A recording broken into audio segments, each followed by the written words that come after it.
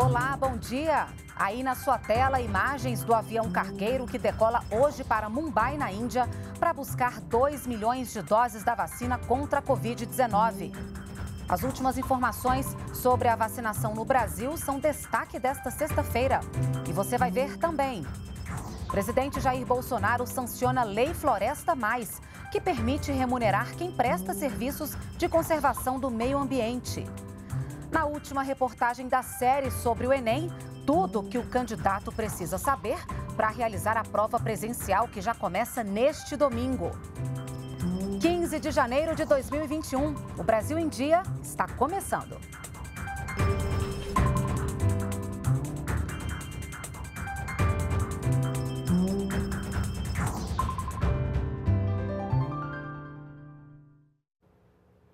Nós estamos ao vivo também agora pelas redes sociais e são 8 horas da manhã e um minuto. O Brasil vai buscar 2 milhões de doses de vacina na Índia. O avião partiu ontem do aeroporto de Viracopos, em Campinas, e fez uma escala no aeroporto de Recife. Nesta sexta-feira, a missão parte do Recife com destino a Mumbai. Vamos saber os detalhes então com a repórter Alessandra Lago. Oi, Alessandra, bom dia. Olá, Renata, bom dia. O avião que vai buscar as vacinas está neste momento no Recife, em Pernambuco, e vai decolar hoje às 11 da noite com destino a Mumbai, na Índia. A viagem dura cerca de 15 horas. A aeronave tem contêineres especiais para garantir o controle de temperatura das doses. E o avião recebeu adesivos com o slogan da campanha do governo federal. A data de retorno ao Brasil agora depende do andamento dos trâmites da operação de logística. O imunizante é produzido pelo laboratório indiano em parceria com o consórcio AstraZeneca-Oxford. E em relação à liberação das vacinas, já no próximo domingo, a diretoria da Anvisa se reúne para discutir os pedidos de autorização para uso emergencial dos imunizantes do Instituto Butantan com a farmacêutica Sinovac e da Fiocruz com o consórcio AstraZeneca-Oxford. De acordo com o Ministério da Saúde, as vacinas serão enviadas para os estados assim que a Anvisa aprovar o uso emergencial. E o governo federal já informou que vai adquirir mais de 100 milhões de seringas e agulhas para vacinação. Atualmente, o país já conta com um estoque de 80 milhões de seringas e agulhas nos estados. É com você, Renata. Obrigada pelas informações, Alessandra. Um bom dia para você. Uma pesquisa encomendada pelo Ministério da Saúde aponta que a prevalência de anemia em crianças de até 5 anos reduziu pela metade nos últimos anos. Confira na reportagem de Luciana Colares. O Ministério da Saúde encomendou a pesquisa ao ENANI, o Estudo Nacional de Alimentação e Nutrição Infantil. O levantamento é inédito e concluiu que a anemia em crianças de até 5 anos de idade recuou de quase 21% em 2006 para 10% em 2019. A região Sudeste foi a que teve maior redução, 14,7%. Já o Centro-Oeste, a menor, 1,6%. O estudo identificou também que a anemia, independente do tipo, é mais comum em bebês de 6 a 23 meses de vida. A redução das prevalências das carências nutricionais nas crianças brasileiras menores de 5 anos indica uma melhoria das condições de saúde dessa faixa etária. A pesquisa também mostra que crianças de até 5 anos são o grupo de maior risco para as deficiências de micronutrientes, especialmente ferro e vitamina A a carência de vitamina A apareceu em 6% dos casos estudados e a presença da anemia ferropriva foi de 3,6% no país. As crianças que têm deficiência de ferro e anemia ferropriva, elas têm um comprometimento do seu desenvolvimento cognitivo, afetando isso na infância e durante toda a vida da criança. Então é muito importante que a criança receba a suplementação de ferro adequada. O levantamento avaliou ainda práticas de aleitamento materno, alimentação complementar e alimentação individual das crianças entre fevereiro de 2019 e março de 2020. Mais de 14.500 crianças menores de 5 anos foram acompanhadas. Os dados serão analisados este ano. Serão essenciais para a reformulação de políticas públicas para promover a saúde das crianças brasileiras. A preservação do meio ambiente vai ser remunerada por meio da Política Nacional de Pagamento de Serviços Ambientais. A lei foi sancionada pelo presidente Jair Bolsonaro. O ministro Ricardo Salles explica melhor. Uma vez é, mensurada este ativo, então certificado que a pessoa tem aquela reserva legal preservada, ou excesso, ou a recuperação em andamento, há um preço estabelecido, por exemplo, por hectare, e a pessoa recebe anualmente o pagamento por esses hectares.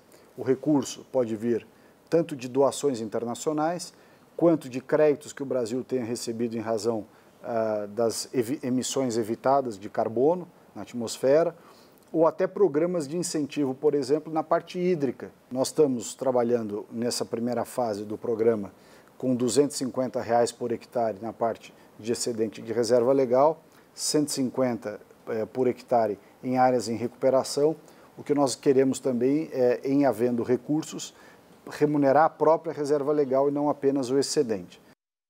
Na agricultura, mais de 2 milhões de reais vão ser investidos para promover cadeias produtivas do bioma amazônico e do cerrado. Quem produz açaí, cupuaçu e mandioca, por exemplo, vai contar com incentivos do Ministério da Agricultura e da Embrapa. Mandioca, mel, castanha do Pará e açaí delícias tipicamente brasileiras que agora ganham incentivo na produção. O programa quer fortalecer e aprimorar a produção desses produtos típicos, como a piaçaba, o cupuaçu, as baunilhas brasileiras e os sistemas agroflorestais diversos na Amazônia e no Cerrado. A meta é fazer com que esses produtos alcancem mais mercados dentro e fora do Brasil.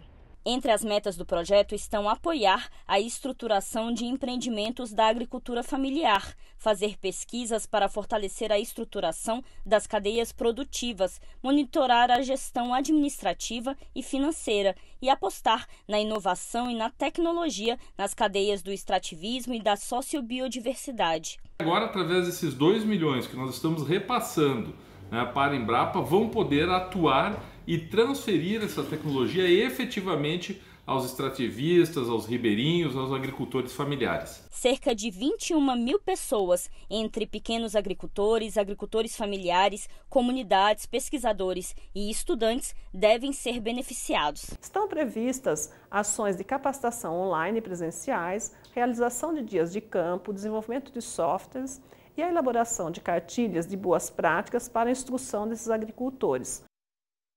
Economia é o assunto agora. Uma vez por ano, as startups brasileiras têm a chance de se inscrever e serem selecionadas em dois programas do governo federal de desenvolvimento de soluções inovadoras em produtos ou serviços. Neste ano não será diferente. O Ministério da Economia, por meio desses programas, vai dar apoio de graça para que 15 mil empresas tenham contato com o mercado internacional. O Inovativa Brasil favorece o desenvolvimento de negócios inovadores por todo o país. A escolha do programa no primeiro lugar na categoria Ecossistema foi feita por 32 startups que foram premiadas e reconheceram a contribuição que receberam. Criado em 2013, o Inovativa Brasil funciona hoje para aceleração, conexão e capacitação de startups brasileiras. Ele oferece uma série de atividades para otimizar o potencial das empresas. O programa já ajudou mais de 2 mil empreendimentos e tem a meta de atender mais 15 mil só este ano. A concorrência globalizada é um dos desafios. E para isso existe um outro programa também do governo brasileiro.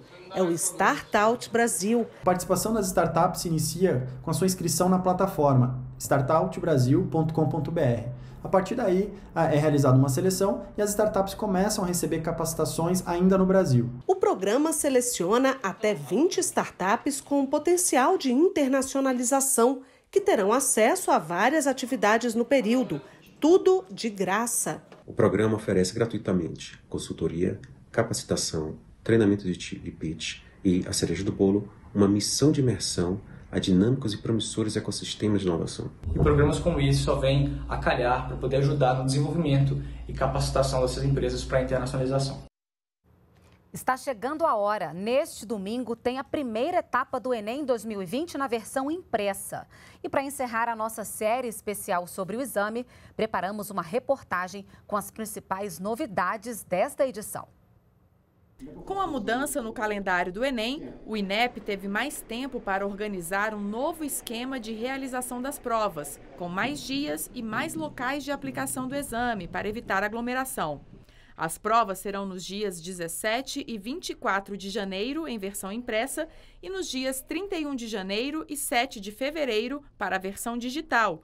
Mais de 5 milhões e 600 mil pessoas se inscreveram para o Enem impresso e quase 100 mil para o Enem digital, um aumento de 13,5% em relação aos inscritos no ano passado. Outra novidade este ano é que quem contrair a Covid-19 no período das provas vai poder adiar a realização do exame e participar da reaplicação em fevereiro.